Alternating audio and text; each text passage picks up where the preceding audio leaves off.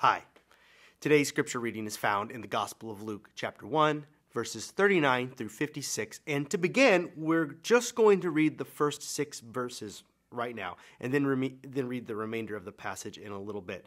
So, beginning with chapter 1, verse 39.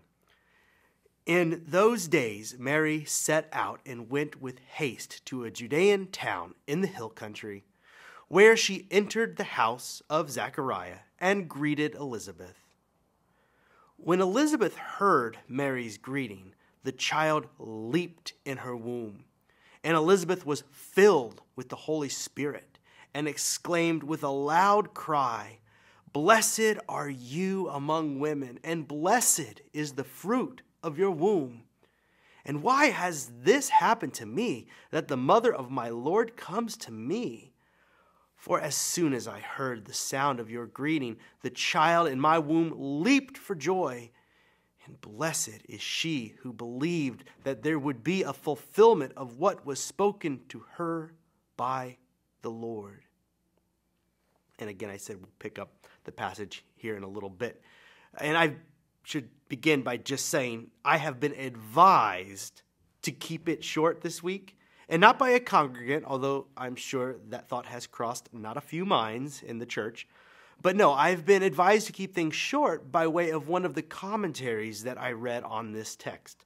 Biblical scholar David Lose, who I have found, as I've read his commentary on different texts, I have found to be quite verbose, uses a lot of words, but this week he suggests that we focus more on singing in honor of these women that we just read about who sang in response to God's miraculous ways in the world. David Lose writes, and I'm going to quote him here at length Have you ever noticed how often Luke employs songs in the first several chapters of his story about Jesus? Mary sings when she is greeted by her cousin Elizabeth. That's in today's reading. Zechariah sings when his son John is born and his tongue is finally loosened. The angels sing of peace and goodwill when they share their good news of great joy with the shepherds. And Simeon sings his song of farewell once he has seen God's promises to Israel kept in the Christ child. Lose continues. Why one might wonder, all these songs? Because singing is an act of resistance. That's not to say that all singing is, of course. Sometimes it's an act of joy and sometimes of camaraderie, but it's also an act of resistance. The slaves knew this. When they sang their spirituals, they were both praising God and protesting the masters who locked them out of worship but couldn't keep them out of the promise of deliverance of the Bible. And the civil rights leaders knew this too, singing songs like, We Shall Overcome, when so many in the society didn't give them a chance to advance their cause of justice, let alone triumph. The protesters in Leipzig in 1989 knew this as well. While that element sometimes gets overlooked in the histories of the Velvet Res- Revolution, it's striking to note that for several months preceding the fall of the Berlin Wall, the citizens of Leipzig gathered on Monday evenings by candlelight around St. Nikolai Church, the church where Bach composed so many of his cantatas to sing. And over two months, their numbers grew from a little more than a thousand people to more than 300,000. Over half the citizens of the city singing songs of hope and protest and justice until their song shook the powers of their nation and changed the world. Later, when someone asked one of the officers of the Stasi, the East German secret police, why they did not crush this protest like they had so many others, the officer replied, We had no contingency plan for song. And that's the end of that longer quote from commentator David Lose. And I gotta say, the forces of evil today have no contingency for this song sung by Mary, who I'll remind you was an unmarried, pregnant teenager singing in the face of it all. Actually, both of the women in this story had, up until very recently, very few reasons to sing. Elizabeth was well beyond childbearing years, which in her culture meant that she was perceived to be a broken person, perhaps even cursed by God. But now, God has brought about a miraculous thing. A prophet grows inside her belly. We will come to know him as John the Baptist. The script has been flipped. And Mary, well, Mary finds herself in a very precarious position with numerous strikes against her. Strikes that would still be held against her today, I think. Unmarried, pregnant, poor. She has no social clout, and what social capital she may once have had is now in jeopardy, and for no fault of her own. But in the middle of the mess, her cousin Elizabeth prophesies. John the Baptist leaps inside her belly because the Holy Spirit has revealed to them both that Mary carries in her belly hope for the human race. God's Spirit reveals to these women in this moment, who under normal circumstances would have considered their situation dire, that their situation is not, in fact, dire. In fact, they have been blessed by God. Elizabeth names what many would have called a curse blessing instead. Not curse, but blessing. And then Mary sings. And here's where we're going to pick up the text, starting at verse 46. And Mary said, My soul magnifies the Lord, and my spirit rejoices in God my Savior, for he has looked with favor on the lowliness of his servant. Surely from now on all generations will call me blessed, for the mighty one has done great things for me, and holy is his name. His mercy is for those who fear him from generation to generation. He has shown strength with his arm.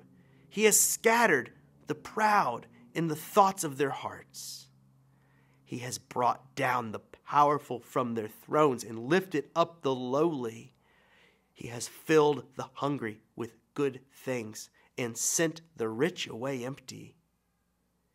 He has helped his servant Israel in remembrance of his mercy, according to the promise he made to our ancestors, to Abraham and to his descendants forever. And this part of the story concludes And Mary remained with her about three months and then returned to her home. But first, she sang. In the middle of it, in the face of it, she sang. And what a vision for the future! The proud are scattered, the powerful are cast from their thrones. And here lies an assumption that those thrones are filled by those who do harm who are not worthy of their elevation. And then the lowly, or the alleged lowly, are elevated. People like Elizabeth and Mary are found to possess all the power, real power, power that God recognizes and enables, and power that God gives the people to overcome. Here is a power can give rise to a movement like the one we are a part of in the year 2021. After all, aren't we still talking about these two women and their miraculous pregnancies, their labors, and their births? From them was birthed the bodies of prophets and of Christ, and now we are a part of it. We are the body of the baby who was born in a manger. Today, we are still a part of it saying that the lowly were elevated by this may be one of the greatest understatements of all history. She goes on The hungry are filled with good things. Those that grow rich by way of exploitation leave the party disappointed. Their currency has no sway or influence in the realm of God.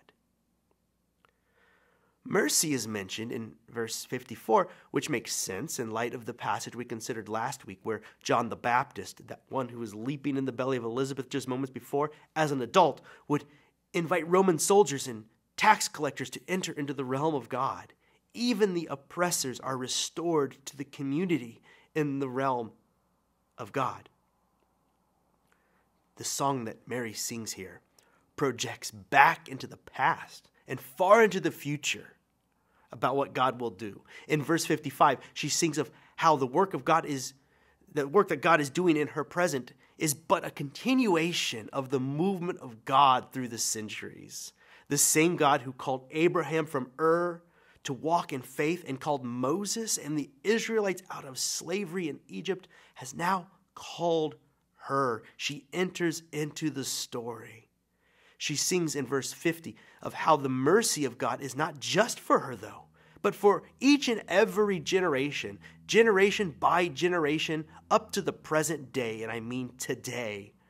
Her good news is our good news, and so we are blessed by the song.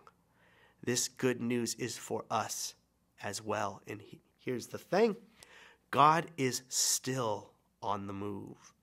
The lowly will continue to be lifted up. You and I are but vessels, jars of clay, but filled with God's Spirit and commissioned to do miraculous work in the world.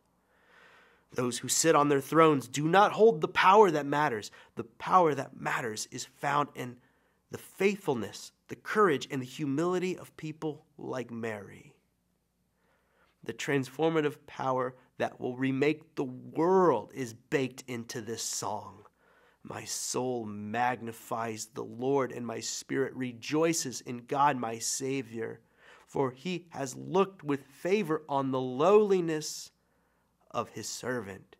Surely from now on, all generations will call me blessed, for the mighty one has done great things for me, and holy is his name. And here we sit thousands of years later calling her blessed. She would conclude her song He has helped his servant Israel in remembrance of his mercy, according to the promise he made to our ancestors, to Abraham, and to his descendants forever. And that means us. So let us join in the song and sing it loudly for our future and for future generations.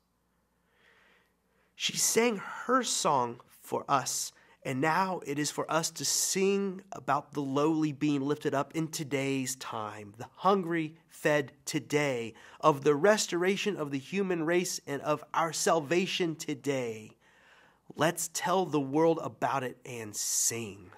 Let's lift up our voices and join her in this joyous noise and the wonderful work that God has done, will do for us.